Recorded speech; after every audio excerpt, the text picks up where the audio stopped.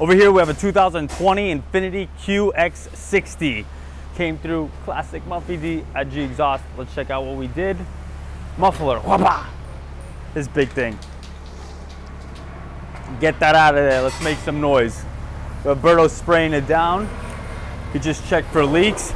Basically very simple stuff. Let me get on this side. The muffler was right here. Burrow chopped it off here and here and replaced with a stick of pipe. That's it. Best mod you could do. Even if you're a family man or whatever, you get some noise in there, make the kids all happy. All right, let's bring it down and fire up.